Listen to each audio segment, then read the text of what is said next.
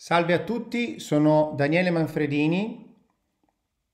e con questa breve presentazione video vorrei discutere con voi il recente documento internazionale sul bruxismo,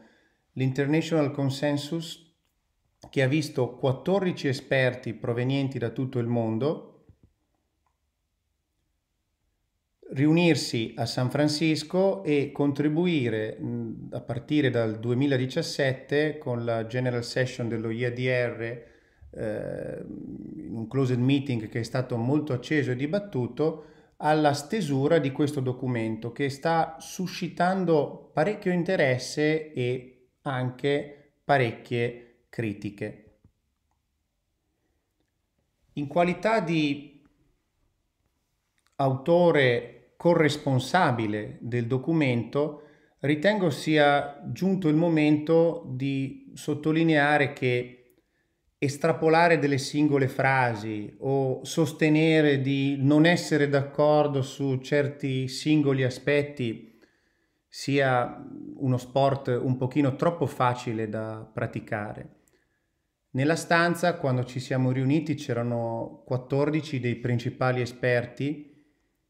tra l'altro di estrazione professionale differente, odontoiatri, esperti di dolore orofacciale, psicologi, medici del sonno e la base di ragionamento secondo la quale si deve arrivare a produrre un documento consenso è che questo sia inevitabilmente la sintesi e il compromesso tra le posizioni di partenza di ciascuno dei protagonisti, tutti esperti, ricercatori e clinici. L'altro aspetto da sottolineare è che il consensus paper alla fine aveva quattro obiettivi ben precisi e quindi di questo dobbiamo discutere. Non è un'idea di proporre una nuova classificazione del bruxismo o di coprire tutto lo scibile attuale sul bruxismo. Lo scopo ben preciso era di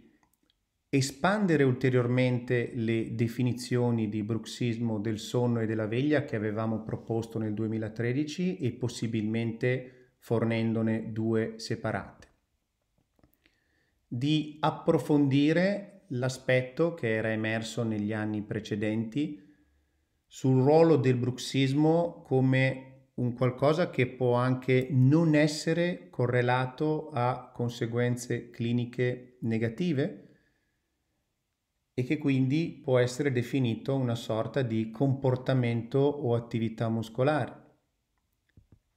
Il terzo scopo era quello di rivalutare il grading system che era stato suggerito e proposto nel 2013 ma che non voleva assolutamente essere un sistema diagnostico classificativo. E infine anche lo scopo era quello di proporre un'agenda basata sulle possibili manchevolezze nelle conoscenze attuali al fine di disegnare ricerche future. Partiamo quindi dalla prima di queste eh, tematiche che è la definizione di bruxismo. Abbiamo prodotto due definizioni separate per il bruxismo del sonno e della veglia. Il bruxismo del sonno è definito come un'attività dei muscoli masticatori durante il sonno che è caratterizzata come ritmica, cioè può essere fasica, di breve durata, o non ritmica, cioè può essere tonica, di durata maggiore, e non è un disordine nel movimento o un disordine del sonno in individui che sono altrimenti sani. Il bruxismo della veglia è parimenti un'attività dei muscoli masticatori durante la veglia che può essere caratterizzata dal contatto dentale ripetitivo o sostenuto,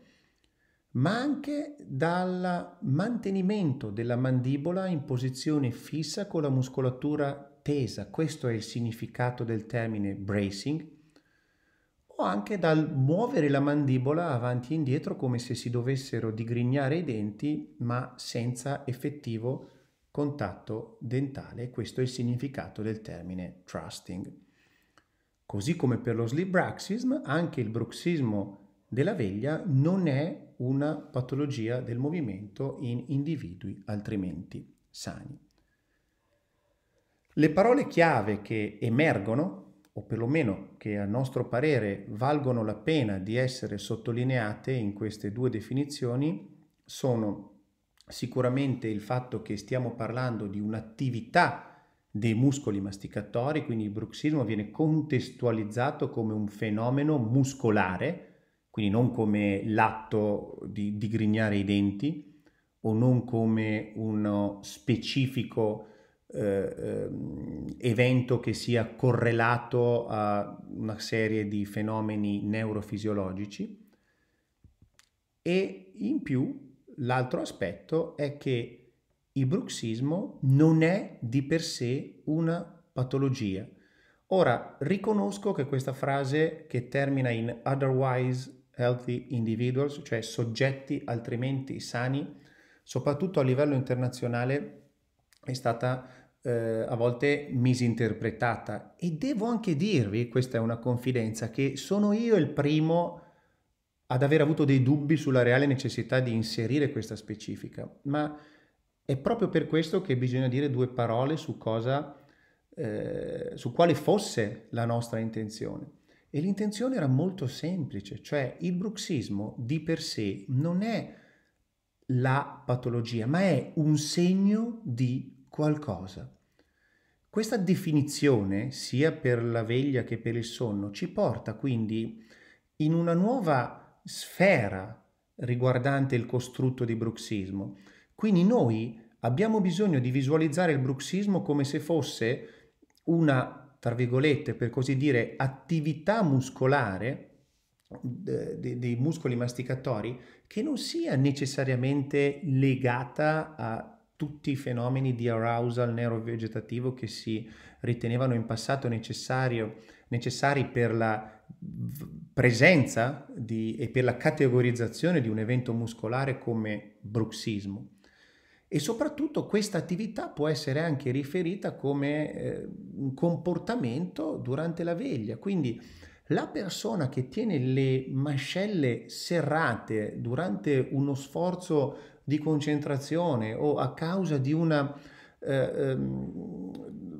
stato ansioso, di una personalità particolarmente emotiva durante le ore della veglia, è una persona che in quel momento sta compiendo un'attività di bruxismo della veglia in forma di bracing. L'altro aspetto che emerge da questa definizione è che, come ho già detto poc'anzi, il bruxismo è il segno di qualcosa. Dobbiamo cominciare quindi da un lato a vedere il bruxismo come l'attività muscolare, dall'altro a considerarlo alla stregua, che ne so, della temperatura corporea, cioè di un qualcosa che può essere un segno di importanza per riconoscere una condizione sottostante che ne determina l'aumento o la diminuzione. Quindi in quest'ottica eh, è stato scelto il termine behavior, che non vuol dire che il bruxismo sia sempre fisiologico, ma semplicemente che bisogna contestualizzare l'uso del termine riguardando il concetto di attività muscolare. E questo ci porta quindi al secondo aspetto che è quello della eh, discussione appunto del ruolo del bruxismo in termini di correlati clinici. Ci possono essere situazioni in cui il bruxismo è un comportamento muscolare innocuo ci possono essere situazioni in cui il bruxismo, inteso appunto come aumentata attività muscolare, può essere associato a una o più eh, conseguenze cliniche negative. Pensate ad esempio al paziente che digrigna molto i denti e avrà una situazione di usura dentale. Oppure al paziente che tiene i muscoli in tensione per ore, giorni, mesi, anni. La relazione con affaticamento muscolare, dolore muscolare, dolore all'articolazione temporomandibolare può essere tutta lì da vedere. Ma in alcune situazioni il bruxismo può, in via eh, per ora eh, quasi più teorica che altro, ma ci sono delle eh, piccole evidenze che questo possa accadere, eh, rappresentare addirittura un fattore protettivo, cioè è stato visto che ad esempio il bruxismo in alcuni pazienti rappresenta l'evento terminale di arousal respiratori e quindi anche se la nostra eh, famosa ipotesi che nel 2015 su Sleep and Briefing pubblicammo in termini di possibile ruolo protettivo del bruxismo nei confronti ad esempio delle apnee notturne in questo momento è stata un attimino rivisitata eh, per la complessità dei fenomeni neurologici che la sottendono, che rendono impossibile trovare una relazione a uno a uno, sicuramente il bruxismo talvolta può essere anche un segno che non necessariamente sia associato a eh, conseguenze negative. Il terzo aspetto quindi è come si valuta questo bruxismo. Nel momento in cui noi abbiamo deciso di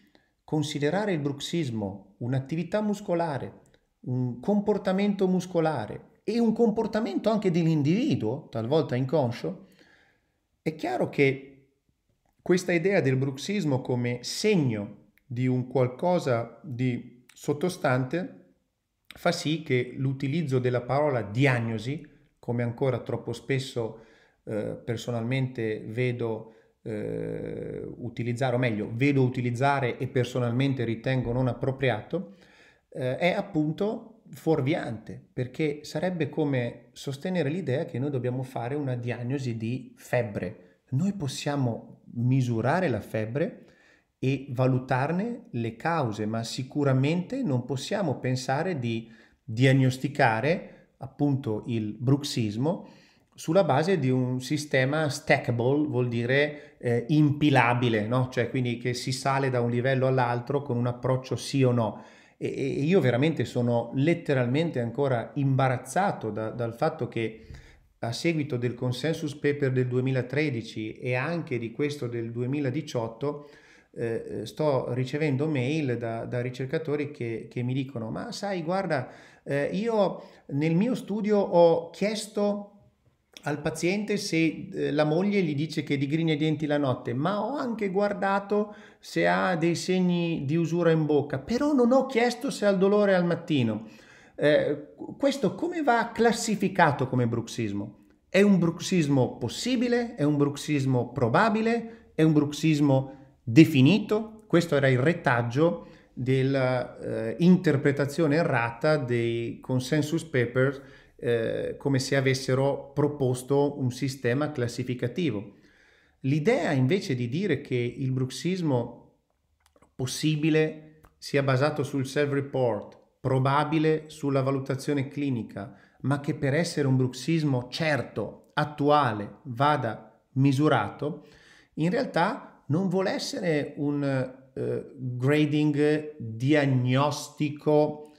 uh, classificativo standardizzato, ma semplicemente un suggerimento per far capire che molto spesso la letteratura clinica in termini di approccio alla valutazione del bruxismo è molto superficiale. Ma nel consensus paper c'è scritto chiaro e tondo che può essere possibile approcciarsi alla valutazione del bruxismo sia in maniera non strumentale che strumentale e anzi vi anticipo, lo vedremo tra poco nel eh, research agenda, le, eh, ehm, le, i nostri sforzi, le direttive future saranno quelle di cercare di predisporre un sistema valutativo che sia omnicomprensivo. Di certo, dal punto di vista valutativo, continuare a eh, basare la cosiddetta diagnosi sulla presenza o assenza di bruxismo sull'uso di cutoff, se hai più di X eventi eh, di bruxismo durante il sonno sei bruxista severo, altrimenti no, è un controsenso clinico. Non c'è tempo, questo è un argomento per corsi più approfonditi, eh, eh, ma sappiate che questo è un ragionamento circolare, cioè i criteri polisonnografici di valutazione del bruxismo erano semplicemente dei suggerimenti per uno screening in ambito di ricerca. E vedere adesso che in questi famigerati centri evidence-based dentist dove l'unica cosa che si fa è revisionare la letteratura scritta da altri, si prendano addirittura a spunto questi criteri per meta-analizzare la letteratura del bruxismo e valutare l'efficacia del trattamento, è un controsenso. Eh, è un grosso errore più che un controsenso, perché dobbiamo sapere che oggi la definizione di bruxismo non comprende più solamente i picchi di attività polisonografica fasici, ma anche, e oserei dire eh, dal punto di vista della rilevanza clinica, soprattutto i periodi di prolungata eh, attività isometrica dei muscoli che dalla polisonografia vengono scartati. Quindi se noi ci limitiamo a fare la conta degli episodi eh, fasici, a meno che non ci imbattiamo in un paziente che sia un eh, bruxista fasico super severo eh, e, e, che quindi abbia una facilmente ipotizzabile relazione con l'usura dentale, eh, eh, tutte le altre possibili correlazioni cliniche vengono a mancare. Ma anche nel caso dell'usura dentale tenete presente che oggi la sfida, il challenge è andare a cercare le cause di questo bruxismo che abbiamo visto possono essere molteplici. Andiamo a cercarli negli arousal respiratori, andiamo a cercarli nel reflusso gastroesofageo, andiamo a cercarli eh, negli aspetti psichici, andiamo a cercarli nell'utilizzo di farmaci. Di certo il bruxismo in quanto attività dei muscoli masticatori dovrebbe essere valutata nel suo continuo, cioè in termini di ammontare di quantificazione della eh, eh, attività elettromiografica stessa o di report dell'esperienza durante il eh, giorno, durante la veglia e in quest'ultimo eh, filone si inseriscono tutte le interessantissime ricerche che riguardano ad esempio gli approcci ecologici allo studio del bruxismo della veglia. Infine, ultimo scopo era quello di delineare una research agenda e è abbastanza ormai intuitivo che i nostri goals per il futuro saranno quelli di creare un sistema multidimensionale che sia onnicomprensivo nella valutazione del bruxismo, cioè che includa un inquadramento dell'eziologia, delle diverse possibili forme di bruxismo, una valutazione dell'attività di bruxismo eh, in sé, che può essere basata sulle informazioni eh, recuperate a livello di ciò che ci riferisce il soggetto, su informazioni tratte dall'esame clinico e su informazioni che derivano dall'utilizzo delle strumentazioni, di cui ad esempio l'elettromiografia eh, diventerà progressivamente lo standard, in quanto è lo standard per la misurazione del lavoro muscolare, ma la polisonografia eh, resterà l'inevitabile riferimento per quanto riguarda la possibilità di studiare i correlati neurofisiologici del bruxismo del sonno. Tutto questo per arrivare poi a eh, cercare di mettere insieme e possibilmente analizzare mediante sistematiche di intelligenza artificiale i dati così raccolti con la presenza di eh, conseguenze cliniche. Quindi le conclusioni devono essere rapportate a quelli che erano gli obiettivi, perché è abbastanza intuitivo che in un paper del genere qualcosa manchi, ma intanto cominciamo a gettare delle basi concrete per parlare tutti la stessa lingua. E allora, conclusione numero uno, visto che il primo punto era cercare di chiarire le definizioni del 2013, direi che sicuramente oggi non c'è dubbio che eh, sia il bruxismo del sonno che il bruxismo della veglia abbiano eh, una loro dignità separata. Eh, eh, spesso quasi in maniera provocatoria dico cominciamo a usare il plurale bruxismi perché sono attività muscolari non solo differenti per eh, estrinsecazione durante il ritmo circadiano, ma anche differenti per eziologia e per tipologia di attività muscolare. La seconda conclusione che riguardava invece l'aspetto di considerare il bruxismo in termini di eh, comportamento, di behavior, quindi piuttosto che di disorder, direi che è stata molto ben sviscerata nel consensus paper, in quanto c'è tutta una parte che spiega cosa si intende per behavior, quindi eh, estrapolare l'abstract e dire ah ok da oggi il bruxismo è una cosa che non è patologica è un grosso errore, perché il bruxismo deve, come abbiamo provato a spiegare anche in questo breve video, essere visto come un qualcosa che ci faccia da campanello d'allarme per la presenza di eh, possibili condizioni sottostanti, come un qualcosa che può rappresentare un fattore di rischio per conseguenze cliniche di interesse odontoiatrico, dolore ai muscoli masticatori, usura dentale, eh, eh, faccette che si rompono, eh, viti eh, di ritenzione implantoprotesica che si allentano, ma che non deve necessariamente essere considerato eh, un qualcosa di patologico e soprattutto men che meno essere considerato la patologia. E questo chiaramente ha un impatto importantissimo anche per quanto riguarda la eh, interpretazione di eh, tanti articoli, tanti corsi, tante affermazioni quando si sente parlare di trattamento del bruxismo. Ecco, amici, da ora in avanti quando leggete trattamento del bruxismo, per favore ricordatevi eh, di, di me che come grillo parlante vi dico che state andando ad ascoltare una conferenza sul trattamento della febbre. La febbre si può trattare, nel senso che si può gestire sintomatologicamente, si può prevenire, ma se si vuole bisogna cercare di eliminarne le cause. Stesso approccio dovrebbe essere utilizzato per il bruxismo. Troppo spesso si confonde la gestione delle conseguenze cliniche con il trattamento delle cause di bruxismo, cioè del perché un paziente ha tanta attività muscolare durante il sonno. Non è un caso, ad esempio, che nei pazienti che vengono, ad esempio, trattati con